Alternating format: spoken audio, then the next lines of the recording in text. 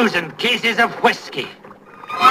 50,000 cases of... Hello again, Whiskey Whippers and Spirit Sippers. Wun Wun here again, and we got another one. We tracked down one we have been looking for for over a year. As soon as I heard about the wine finish green spots, I have just been salivating wanting to get my hands on one, and we finally tracked one down. Today we're going to be talking about Green Spot Chateau Montelena. The only whiskey is Irish whiskey. Oh, you guys don't even know. I literally, I was like ready to drive to the border, go to Canada, do whatever I could, just trying to track one of these down. It just seemed impossible for some reason. I'd never see them anywhere. And then I just happened to be walking through, of all places, Total Wine. And sure enough, look what finally hit the shelf Chateau Montelena. I was so sprung and excited. You guys don't even know. So, yeah, I've been trying to track these down. I want to get this one and the uh, Chateau Louis Barton. Um, that one, I guess, is going to be a little harder to find, but hey, one out of two is not bad. So, yeah, I'm super excited. Today, it's going to be all about the green spot Chateau Montelena.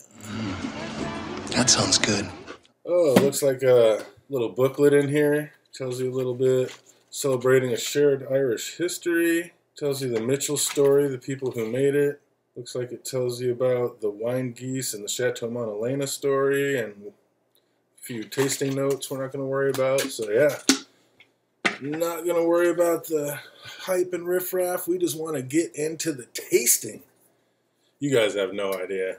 I'm afraid, so afraid this is not going to live up to the hype because I have been wanting to taste this for so long. There's zero pop. Off to a terrible start. Terrible start. Oh, let's get it.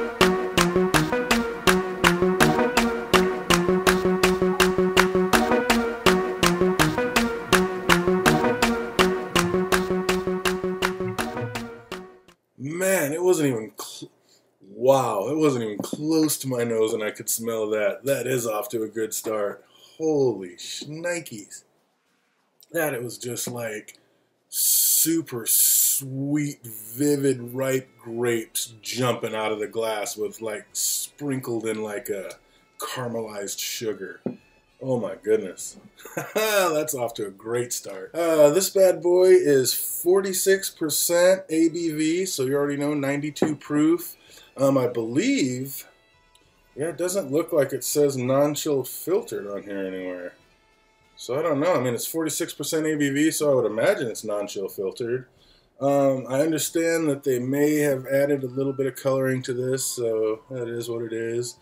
But yeah, they uh, seven to ten years in uh, regular cask, and then I they dump it in the wine Zinfandel cask and finish it. So yeah, this is going to be absolutely amazing. Um, I know it can be kind of a fine line and a fine dance trying to when you're trying to finish uh, Irish whiskey and wines. Uh, sometimes it can take it over. A lot of people really love that Lustau Redbreast. To me, that's just one where I just feel it wasn't cohesive. It kind of battled each other. Didn't know if it was Irish whiskey or it did, it just wasn't a cohesive blend. I'm really hoping that this one is. Oh man, just lemons and butter and honey. Oh, white grapes, huge. Just I love grapes, and it is just like the sweetest white grape smell coming out here. Like you just want to bite into it, and you know that sweet juice is gonna explode. That's exactly what this smells like. This smells amazing. you already know with Irish whiskey, you get that light, smooth, uh, just buttery, biscuity smoothness. Oh, that is. It's just like walking through the meadows on a sunshiny day, just fresh and bright and sweet. Oh, with just flowers blooming in the distance. This just smells amazing. Yeah, this is summertime in glass. oh, I've pumped this up so high. Can it ever live up to the expectations? I don't know, but on the nose, I am not disappointed, I gotta tell you. Some people say that the Léoville Barton Green Spot is maybe a little bit better than this one, so I'm actually a little more excited that I got this one first because you don't want the better one and then downgrade. You always want to climb that hill towards the top. So I'm glad I got this one. I'm super excited and I'm ready to get after it. Cheers. Just like it smells, just smooth and easy for 46%. I mean, it drinks more like 42, 43. It does have a bit of a finish. It's still going. Wow, it actually does have a long finish. It is still kind of Still rumbling there. Got a nice little Kentucky hug going. Mouth is just watering. Like I said, lemon, honey, vanilla, butter. Oh, this is delicious. And it actually has a little oomph to it. I really like the green spot. The green spot was great. Um, a superb beginner's whiskey, just nice, smooth, easy. I mean, wants to be your friend. I really like the flavor, but I just wish it had a little bit more. Um, I've heard about green spot uh, cask strengths, you know, kind of rare limited editions. That would be amazing. And that's what I missed out of the green spot. I just wish it brought a little more. This brings that little more. I think the green spot's bringing in at like 40%. So this 46%, oh, with the wine finish, it is just everything you want out of a green spot. I mean, I don't know if that Louis Vuitton is better than this, then oh, I'm in for just great times. But this right here, I'm not mad at it. This is delicious. It's living up to the hype. Everything I wanted it to be. And that long finish mm, just gives you a nice little tingle.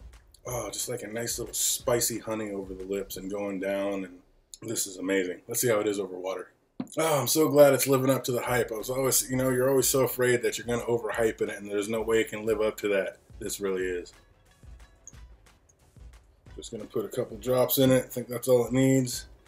See if we can crack open some of those oils and open up a few more flavors. See if that water opened anything up. Hmm. Kind of took uh, that spicy honey down to more of like a sweeter, smoother honey more of a vanilla note, but still that buttery biscuit is in there. Oh, that just smells like, yeah, just cotton candy and vanilla. Let's see how it tastes. Prost. It did, I think it brought out a little bit of that Zinfandel flavor from the wine cask. Um, I wasn't getting that so much. It was more just the vanillas and butters and honeys. So I think it brought out a little bit more of the taste of that wine cask, but still just smooth honey, butter, sweet. This is delicious. this is everything I hoped it would be. Bravo. Let's see how it does over some ice. Zero pop on this one. I mean, none.